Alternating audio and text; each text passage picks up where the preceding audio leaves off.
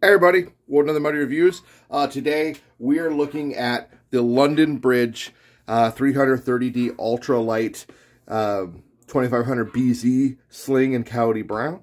Uh, so this isn't my sling. Uh, this is actually a buddy of mine. He picked this up during the London Bridge sale and then uh, was like, yo man, you want to check this sling out and review it? And I was like, hell yeah, I want to check that sling out and review it. Let me see it. So here it is and I'm reviewing it. First things first, it's a pretty sling. Um, it is light. They're not bullshitting. When they say ultra light, it's a light sling. It's not heavy at all. Um, I'm going to break his heart a little bit because I'm going to shit on it near the end. Um, but only a little bit. Just a little bit. I'm just going to shit on a little bit. Um, I like LBT. I'm going to be very straightforward and let you know I'm actually a little partial to LBT. I, I used to run a lot of LBT stuff uh, back in the day. I was issued a lot of LBT stuff, and I'm I'm not gonna call myself a fanboy, but um, I tend to be a little biased. I tend to think of LBT as being very high quality, and I was a little disappointed in a little piece of the design element of this sling, and I'm kind of just puzzled as to what their thought process was, and I'm going to show you that in a moment. But first, we're going to talk about this. So this is the pad. Sorry for the chihuahua in the background. Um, this is a two-inch pad. It's made of 330D uh, Cordura. Honestly, I can't tell the difference between this and 500. It feels about the same. It may be because it's on a pad is why it feels like 500 to me, but it does. I, I really thought this was 500 when I first got my hands on it, but it is 330. Sewing is really good. Um, nice stitching. The um, tensions are good on all the stitches.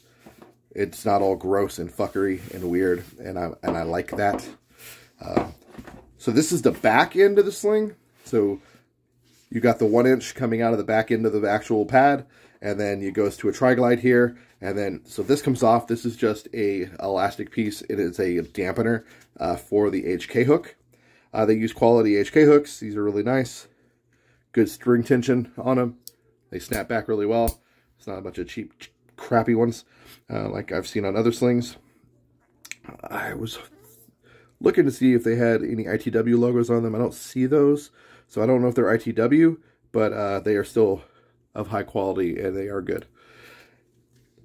As you can see, like I said, it is a tri-glide here, and that's how you make your adjustments for length of the sling. So let's say you wanted to make this guy just a little shorter. You just pull the pull the length you want. Put it back through the tri-glide. Boom. Very simple, easy to do, nothing crazy.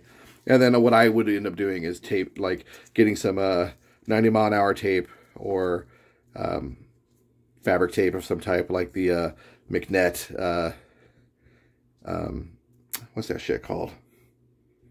I reviewed it on the channel. It's that like cool camouflage fabric tape. Get some of that like in, if they have it in brown. If not, just get it like Multicams or digital desert or whatever. And wrap these pieces up so you don't have a bunch of like loose dangly pieces because nobody likes loose dangly pieces. Again, uh, the elastic here as a little dampener and quieter uh, for these hooks because they can be kind of loud when they're slapping around on a, a gun, especially a metal gun. Uh, moving around to the front of the actual pad, like I said, pad's nice. Uh, one inch webbing. I thought this was solution dyed. Uh, they call this uh, type 4 webbing. I don't know what the fuck that means. Um, I'm assuming it's something special. Maybe it means it's IR treated and compliant. Uh, but it is nice. It's not super shiny. And it is Coyote Brown. Underneath here, you've got the LBT Red Lion. And you've also got the LBT uh, model part number, which is the 2500 Bravo Zulu. Hey, Bravo Zulu. What you say in the Navy when you tell somebody, good job. Uh, terminates into a nice little box stitch here. Boom, boom. And it's actually a really nice box stitch. And then that goes to the back end of this uh, metal clasper here. This is that like Alice style like pole piece that you would have on like a ruck. Uh, they've been using these on slings a lot and uh, they're really great. I actually like these quite a bit.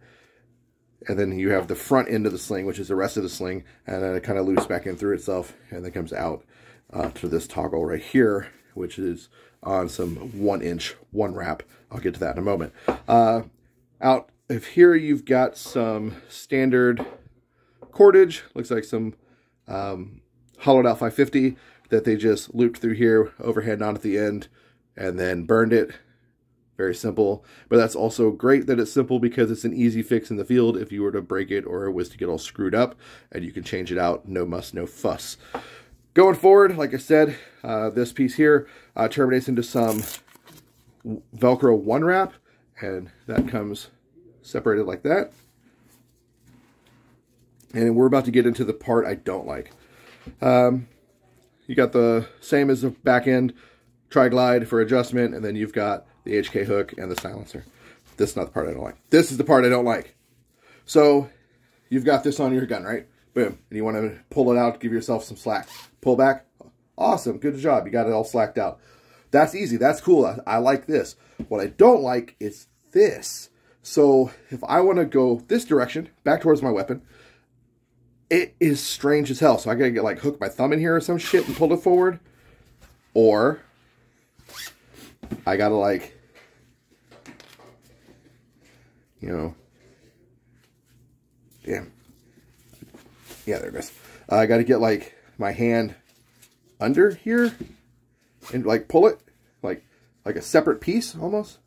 Sorry, I'm awkward handed right now.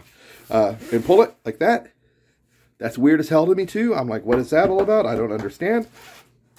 Or I need to bust the one wrap open and then grab this like a pull tab with a toggle and yank forward. And then now you've got this like loosey-goosey sloppy dick piece thing going on. And no, nobody likes that. Nobody wants that shit. So that's weird as fuck to me. And I don't understand why they didn't just do like this. So, you know, you got this little toggle piece, whatever. Like on this uh, GR, G, GBRS sling. You know, there's, pull it back, pull it forward. It's just this little, it's grip, this toggle. Most slings have that. I don't know why the LBT didn't do that. It's really strange to me. And I, I, I kind of call it a design flaw. Uh, maybe I'm just not seeing the forest through the trees, and somebody out there is going to be like, Muddy, this is why, blah, blah, blah and you're just a fucking moron. And I will take that criticism all day long, but I don't, I don't, I don't dig it, and I wouldn't run it. But enough of me grabbing. I'm going to show you this thing on an AEG. So this is a G36. I'm going to pull this out because it's got fancy HK hook points because it's an HK. And we'll put this on here real quick just to kind of show you what it looks like on a weapon. And I'll harp on why I hate this fucking front of this sling again. Once it's on here. Burp, burp. Hear all that noise? Ah, it's so loud. Oh, so much more quieter. That's why those are on there.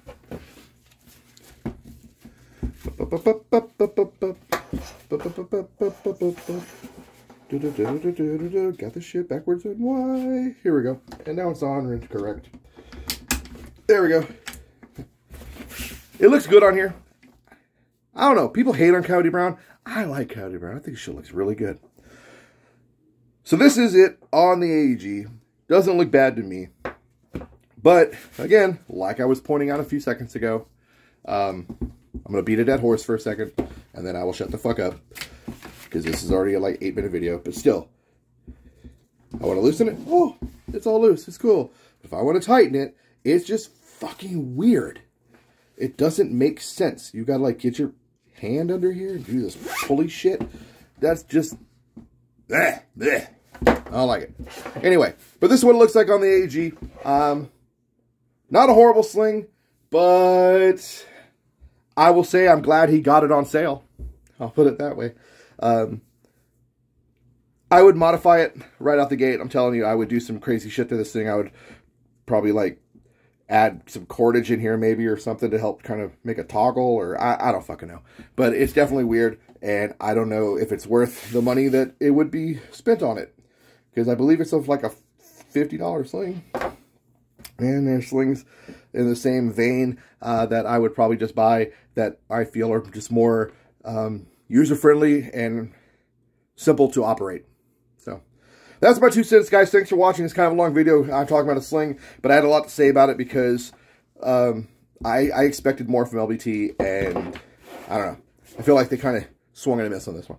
I hope this video was useful for some of you guys, and to my buddy, I hope I didn't uh, shit all over your, your new sling too much and crush your dreams, but um, I hope you enjoy it, because and thanks for letting me review it. You are a uh, gentleman and a scholar.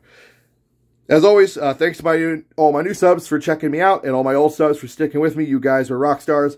Uh, get out there, play some airsoft, uh, be a bunch of fucking BB uh, nerds and BB War Kings, LARP hard, and I'll see you in the next video. Take care, guys.